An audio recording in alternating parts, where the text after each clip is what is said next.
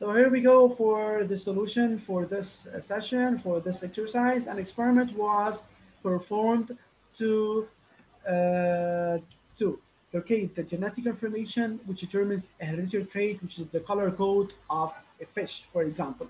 You have to interpret. What is interpret? It's analyze, plus you have to draw out a conclusion. So let's start step by step. Here we have in this experiment, we have a true breeding female mouse crossed with the male of the same genotype. So true breeding, they have all of them, they have the same descendants. And true breeding gray female mouse crossed with a male of the same genotype.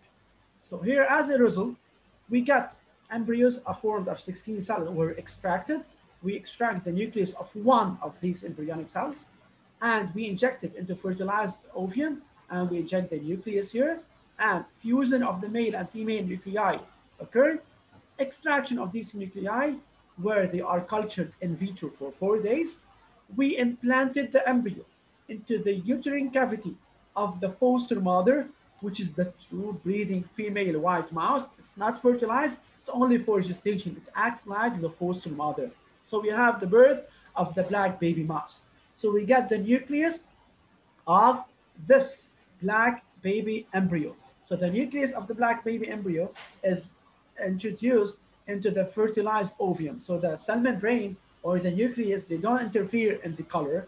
And also the uterus or the food that's supplied by the true breeding female white mouse, they have no role in the color code of the mouse. So the color of the mouse is coded by information that are found inside the nucleus and they are not found neither in the cytoplasm or in the uterus or by the nutrition provided by the white mouse. So what does this indicate?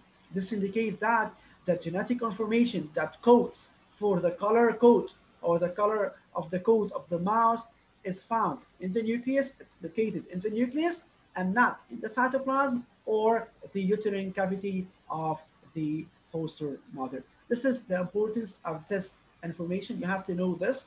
You have to know that the nucleus is the carrier of the genetic information. And you have to know that the nucleus is only the one responsible for this, for carrying the genetic information, not the cytoplasm, nor the uh, cell membrane or the uterine cavity where the baby or the embryo is implanted.